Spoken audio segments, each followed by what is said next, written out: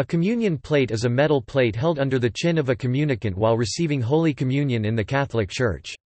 Its use was common in the last part of the 19th century and during most of the 20th. Terminology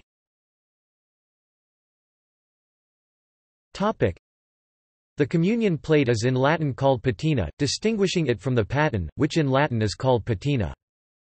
The Vatican approved English translation of documents such as the General Instruction of the Roman Missal hyphenates the name. The two words are also written separately, as in the Oxford Dictionary of the Christian Church and in Bishop Peter John Elliott's liturgical question box. The unhyphenated term, communion plate, is also used to mean in general Eucharistic vessels plated with a precious metal, such as patens, chalices and ciboria.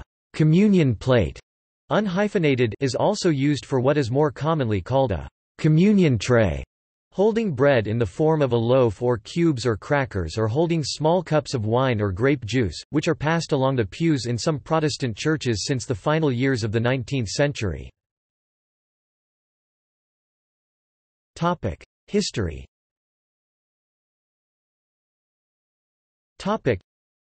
the custom of holding a small communion plate under the chin when receiving the sacred host arose in the mid-19th century, and became widespread after 16 March 1876, when in response to an enquiry about the new practice, the Sacred Congregation of Rites said it had no objection to it. On 26 March 1929 the Congregation for the Discipline of the Sacraments ordered its use by communicants, who were to hold it under their chin and then return it to the priest or pass it to the next communicant. In October of the following year, the same congregation approved, in answer to a query, an alternative custom that had developed in some countries, in which the communion plate was held under the communicant's chin, not by the communicant but by an altar server. The congregation continued to require the use everywhere of a white linen cloth or veil stretched below the mouths of communicants, as prescribed by the Roman Missal. This has been called the communion cloth or the houseling cloth. A photograph of its continued use in 2013 within the sanctuary of a church appears in an online report on a priestly ordination in a priestly fraternity of St. Peter Church. It can also be attached to the altar rails. In his 1960 Code of Rubrics, Pope John XXIII mentioned the communion plate for the faithful patina pro fidelium communion as one of the objects to be placed on the credence table before Mass. Two years later, he revised the Roman Missal, removing the rubric about the communion cloth and inserting a mention of the communion plate, saying that the celebrant puts into the chalice any fragments that may be found on the communion plate that was placed under the chin of the communicants. That the communion plate replaced the cloth is a view mentioned by Monsignor Charles Pope and others. 21st century practice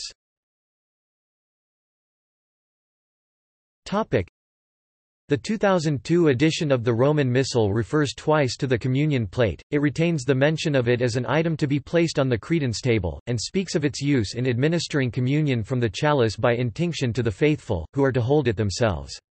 The 2004 Instruction Redemptionis Sacramentum says, "...the communion plate for the communion of the faithful should be retained, so as to avoid the danger of the sacred host or some fragment of it falling."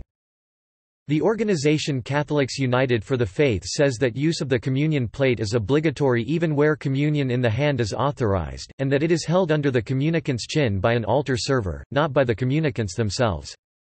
However, since the liturgical books describe use of the communion plate only in relation to intinction, Bishop Peter J. Elliott says that the prescription of the placing of a communion plate on the credence table before Mass can be interpreted as meaning that this can be required only for a Mass in which intinction will be used. At other Masses, use of a communion plate is a licit option and cannot be forbidden, but is not obligatory. Bishop Elliott says that the custom of using a communion plate continues in some churches especially where the option for kneeling for communion has been retained. One church has its altar servers who are equipped also with towels hold the communion plates which it calls patens under the chin of those who receive the host on the tongue and under the hands of those who receive it in their hands. Monsignor Charles Pope says that what he calls chin patens or communion patens are always used in the traditional Latin Mass. Some parishes even use it in the ordinary form.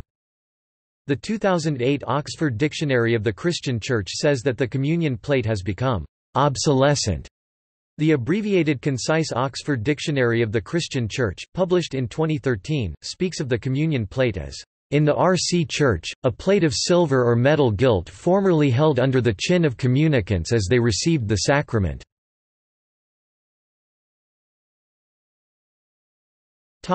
See also